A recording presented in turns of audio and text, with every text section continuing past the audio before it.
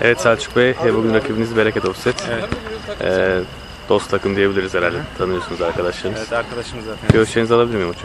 Valla iyi olan kazansın. Yani kazanmak istiyoruz daha doğrusu.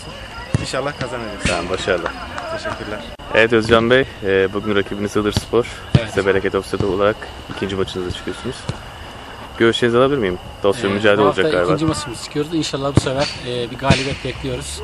E, içimde de öyle bir his var. İçimde de öyle bir his var. E, geçen hafta biraz tecrübesizlik. Arkadaşlar da yeniydi. Bu sefer yani kesin alacağız yani. Tamam, başarılar. bu Maç maçı alacağız yani. Maç sonu görüşmek dileğiyle.